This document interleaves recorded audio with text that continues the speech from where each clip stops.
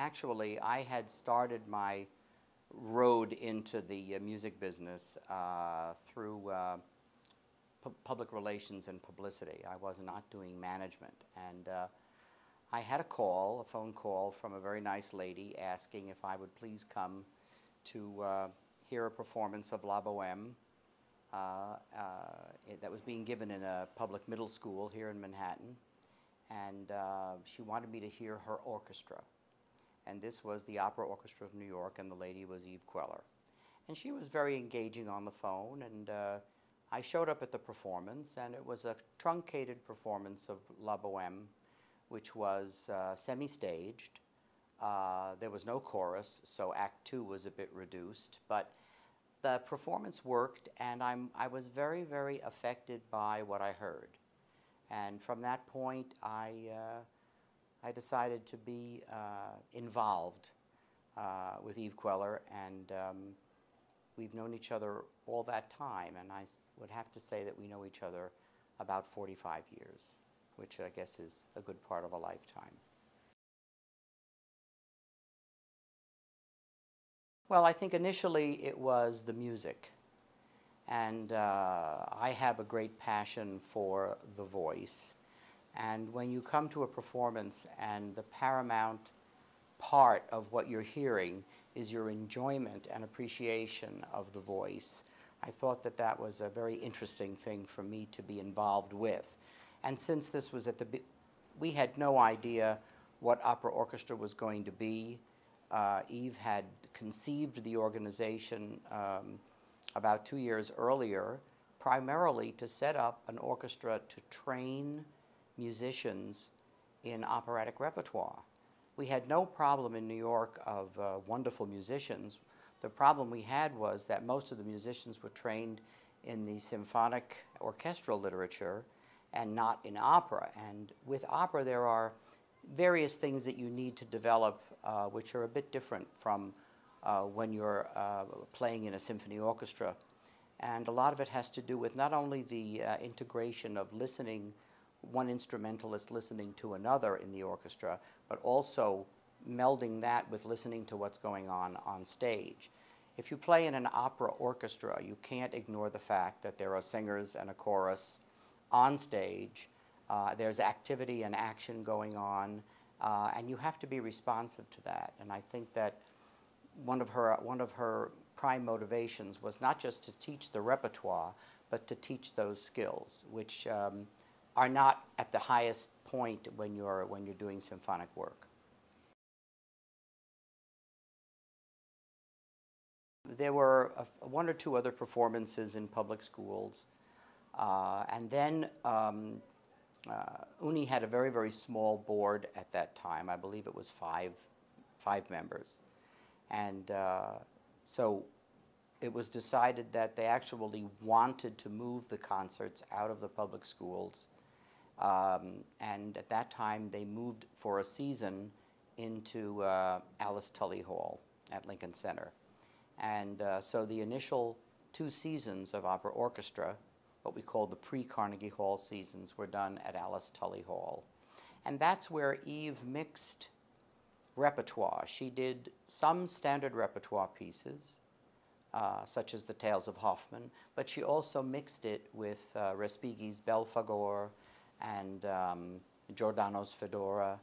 Uh, and it was really the beginning of what opera orchestra eventually became. Um, Eve had spent a number of years as a very successful coach and assistant conductor. In fact, uh, it was Maestro Julius Rudel who brought her into the New York City Opera, and uh, she was an assistant conductor there for a number of seasons. And um, uh, Eve wanted to branch out her own uh, feelings, her own talents, and try to uh, uh, become, try to get more satisfaction out of what she was doing as a musician. She loved working and loved coaching, loved working with the voices, young, working particularly with young singers. Um, but she was also curious about operatic repertoire, and uh, she, she studied a great deal. She studied conducting. Uh, she was a graduate of, of, New York City Music and Art, And uh, she had an extensive background in music. This was uh, something that goes back in Eve's life to, to her childhood.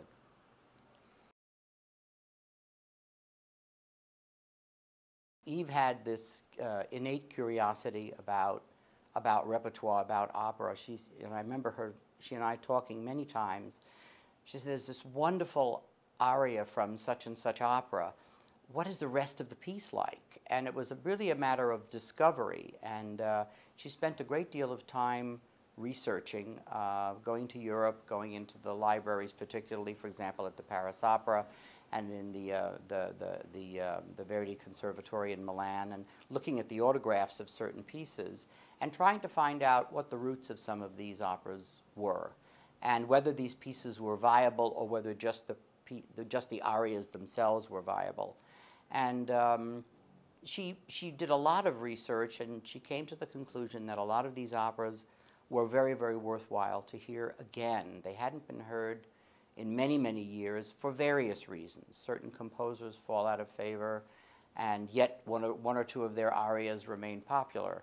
So it was, it was actually this curiosity that started the Opera Orchestra of New York. And the first season in Carnegie Hall, she did um, Rossini's William Tell and Meyerbeer's L'Africaine. And we did both of them in their Italian transcriptions because at the time, that's the way these operas were done. I mean, if you did them at all. I think Rossini's William Tell, I know from my own experience, I'd heard it one or two times in Europe, uh, particularly in Italy, and um, uh, it was a real, what I call, Italian gutbuster opera. It was a very exciting piece, done in quite a truncated version uh, in most of these places. And it was famous because the tenor arias were so difficult and um, and of course, it's the story of William Tell. And of course, we all know the overture, which was when we grew up, when I grew up anyway, was associated with the Lone Ranger. So uh, there was some, something about William Tell, and there was a motivation for doing it. Um, the second opera that Eve did was Meyerbeer's L'Africana, and it was done because we had actually uh, Richard Tucker, the great American tenor, uh, as our featured artist, and uh, the opera was really built around him, and of course the famous aria O Paradiso. Well, we discovered that the opera itself was quite worthy to, to be heard. And it was a continuation on this of discovering the pieces that were done by many major composers and many composers who have kind of fallen off the radar. And uh, many, many times Eve would come up with a piece uh, we would do it, and all of a sudden we would find that it was being revived in other places, not just in concert, but the curiosity of individuals had been sparked to the point where they actually wanted to, to stage it. Um, a number of the pieces that she did, one in particular, which was um, a performance of Zandonai's Francesca da Rimini that uh, hadn't been done at the Met since the 1920s. It hadn't been done in the United States for about 50 years. And um, the, the performance that uh, Opera Orchestra produced with Placido Domingo, Matteo Manuguerra, and Raina Kabaivanska was a huge success. And the people discovered this, this kind of opera, which was, it's not a Verismo opera, it's kind of a post-Verismo Italian piece. It comes from a, a school of writing which is very, very demanding on the voices and orchestrally so rich that any conductor would just love conducting it. And of course, we know that years later, the Met revived it in a very beautiful production uh, with Renata Scotto and Placido Domingo and Cornell MacNeil, and it was a very huge success. So that was just one of the things that happened. I know that Eves had a great impact on the revival of Czech opera, uh, particularly uh, Rusalka. Uh, opera Orchestra produced uh, a performance of Rusalka uh, a number of years ago, um, I would say more than 20 years ago, certainly before Rusalka became almost a standard repertoire piece. And people hearing this opera for the first time in its original language, um, I think they discovered something that uh, was, was quite marvelous and kind of not only relaunched Rusalka, but also gave a, an impetus into not only Dvorak's music, but other Czech composers.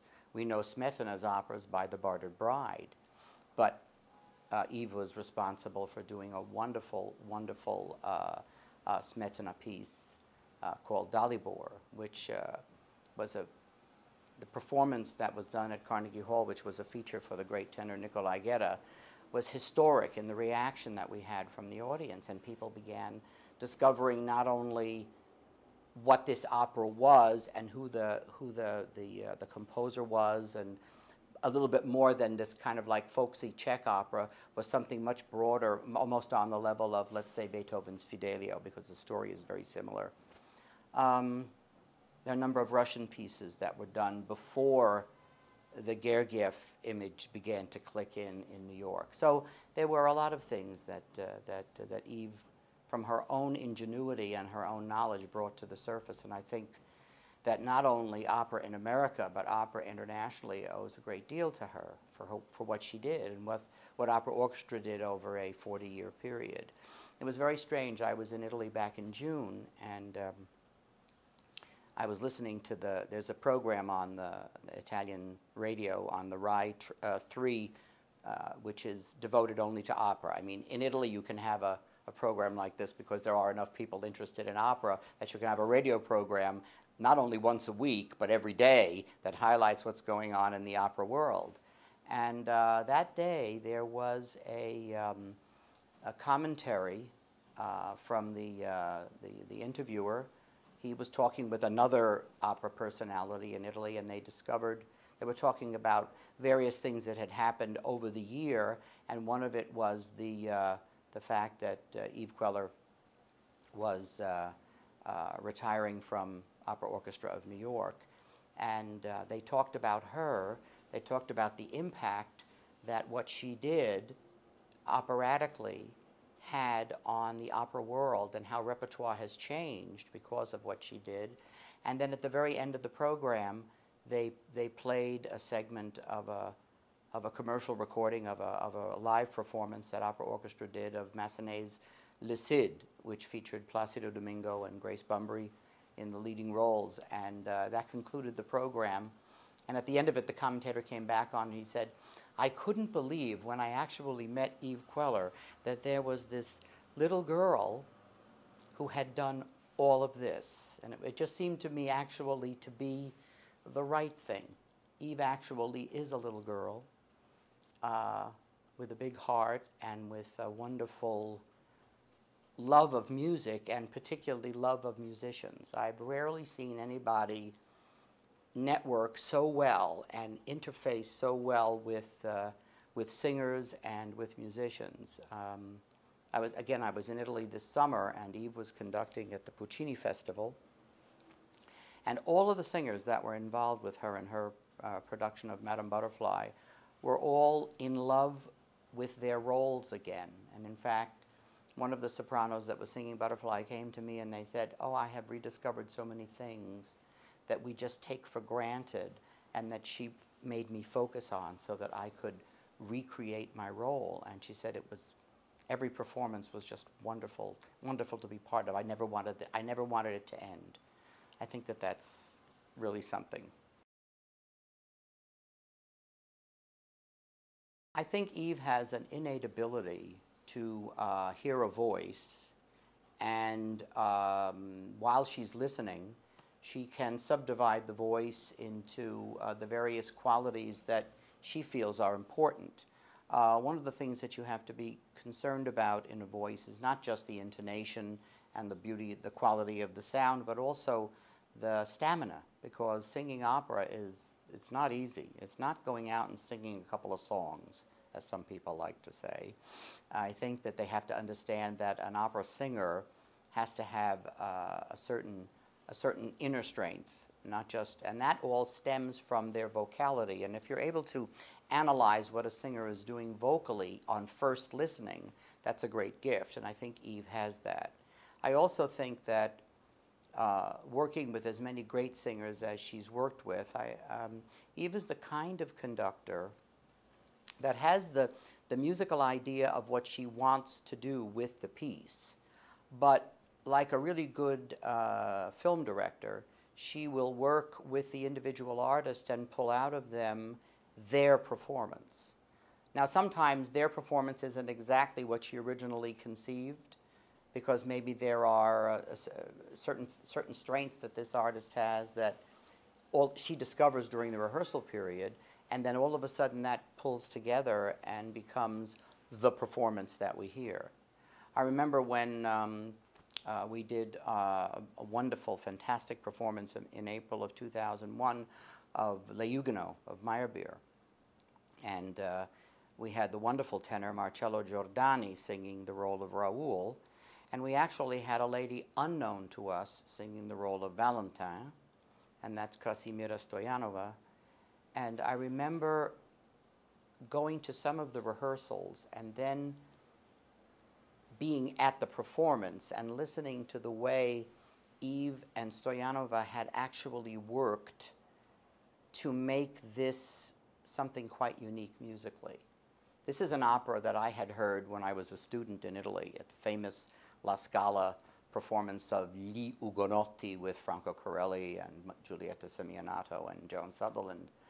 And um, it was one of the high points of my operatic life. And when we did it in Carnegie Hall with opera orchestra, I'm not saying that La Scala was eclipsed because that was something completely unique on its own.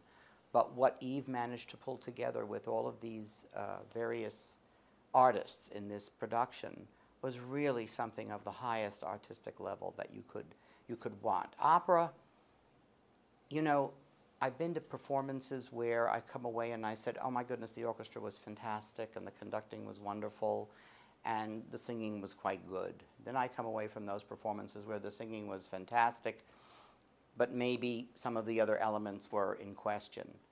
And the wonderful thing about going to opera orchestra and concert opera is that I don't have to worry about those other elements. We get the voice, and we get the we get the singing, and we get the we get the whole the whole thing pulled together. And many times, from a metaphysical standpoint, you sit there and you listen, and it really takes you over. There's nothing to distract you between you and the music. There's nothing going on on the stage that isn't coming from the voice and coming from the hearts of the musicians. And it's really, really amazing uh, some of the reactions that I've witnessed during these 40 years in Carnegie Hall. But I remember particularly in that Le Huguenot, after Stoyanova finished her aria, this kind of almost scream from the audience, this kind of release of tension, but wonderful warmth and love that poured from both sides of the stage. And after she and Giordani finished the famous love duet uh, in, the, in, the, in the last act, I must say that that ovation, I think, I think it went on for a good 15 minutes, and it was something that I will never forget.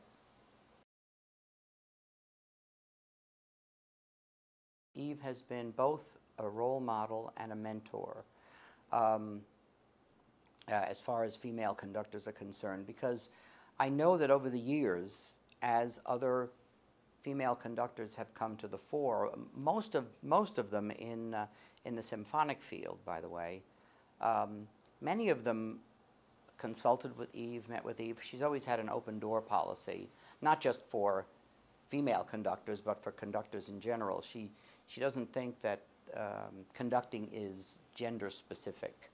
Um, and she has a lot of admiration for a lot of her female colleagues that are out there doing it. And she's just very, very proud to be part of it.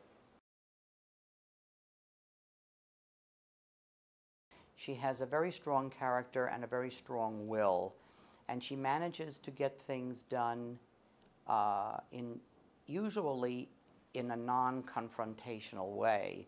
Uh, when there are problems, what she tries to do is to mediate and and and try to peel away the the, uh, the what, whatever is making the problem. You try to get to the source of what it is, and uh, there were a number of a number of occasions, but particularly uh, in the last five or six years, with the economy downturn and things needed to be constantly revised and looked at, and um, uh, she took it on with such an incre- incredible courage that you could not not support her. And many times I would come away from conversations with her, and not only dealing with opera orchestra, but dealing with life in general. And uh, I would maybe put up the phone or come away from the meeting and I would just say to myself, I need some of that strength too. And it was, it, she's very strong. It's not a strong of willfulness. It's just a strength of belief that what you are doing is right, willing to listen to all sides, and willing to come to a conclusion as to how to make it best work. And that's what I have found has been uh, the key to her success. I find that Eve is someone who she'll look at the problem, I mean, and she wants you to bring problems to her attention. If you see something that is possibly unraveling and it hasn't caught her attention because she's so taken with other other situations, uh, she wants that. She wants to be she wants to be part of it, and she also wants to wants to find the solution. I can say on very rare occasions has she come to a parting of the ways with any artist, and um, uh, maybe she's been happier with some than with others, but the performances are always there. And after a 40-year history, I think that she has a really terrific track record. I think that the musicians that play with opera orchestra don't look upon it just as a gig. They move heaven and earth to play with opera orchestra for Eve. And um, no matter what the conflicts are, somehow they're always resolved. And Eve ends up with her orchestra. She's very demanding about her players. She wants really good players. And let's face it, New York I mean, as far as I'm concerned, and from my experience around the world, you, New York really has the best players in the world. And um, the fact that most of those players want to play with, if they have the opportunity to play with opera orchestra, they'll move heaven and earth to play. And I think that it comes out of the fact that it's not just the enjoyment of the whole experience, it's the rehearsal, it's particularly the performance. Opera orchestra audiences are immensely appreciative. And I think, enormously emotionally wrapped up in what opera orchestra does. And I think a lot of that has to do with what Eve brings to the performances. I was, again, just now in Italy watching, watching her, watching her as an unknown quantity to come out to this 5,000 seat arena where she was conducting the Puccini Festival um, performances of Madame Butterfly and to see the appreciation that the orchestra that the orchestra showered on her, but also that the public showered on her. And I won't say also that the critics, I might say, which was which was very nice to go to Italy and and see them write about their culture and their repertoire in the hands of of an American conductor and to write what they wrote and to say what they said. I would think that one of the more mem memorable afternoon and evenings of my life, and the fact that I actually am still alive after that e afternoon was actually the first concert in Carnegie Hall. You realize that Eve had put together a quite wonderful cast for Rossini's William Tell, and on the afternoon of the performance, uh, our star tenor, who was to sing the role of Arnaldo, uh, Nicolai Gedda, canceled on us. He was ill, and he had been, he actually had been fighting a cold for about a week, a week and a half, and it just overtook him. And that afternoon, Eve had to decide what we were going to do. We could cancel, but we didn't. Eve had, we had a cover tenor by the name of uh, Jerry LaMonaco, and Jerry sang Acts 1 and Acts 3. And Act 3 is the one that has the aria with the 14 C sharps in it. And um, I remember we had another tenor by the name of Mallory Walker did Act 2, which was, which was the less difficult of the three opera, the three, uh, the three acts. But when Jerry LaMonaco finished the great Cabaletta uh, in, the, in, the, in the big aria, and the, and the place fell in, I said, okay, we're going to go on. This, was, this is something that we'll be able to do in the future. But that day, when we had to come up with two tenors to sing one, one role, I think that, that that put a capper somewhere. that the first major event that uh, Montserrat Caballé sang in after her Met debut was with uh, Opera Orchestra of New York. And uh, of course, Caballé, Caballé to this day is still a great friend of, of, of Eve, and they communicate uh, a number of times a year and they talk. And um, so uh, Caballé's debut, the, the debut of Piero Cappuccilli, the great Italian baritone. The second time we did William Tell, again doing it in Italian, Cappuccilli sang uh, the, the aria Resto Immobile and had, it had to be repeated. The ovations went on forever. And of course, Mr. Cappuccilli is no longer with us, and a few years after his appearance with Opera Orchestra, he um, was, uh, was in a terrible automobile accident, which, which kind of cut his career off really at its apex. He was one of the great Italian baritones. And um, I think I have to go back also to the appearances, uh, having been also the manager for Renata Scotto, the appearances that she had with Opera Orchestra.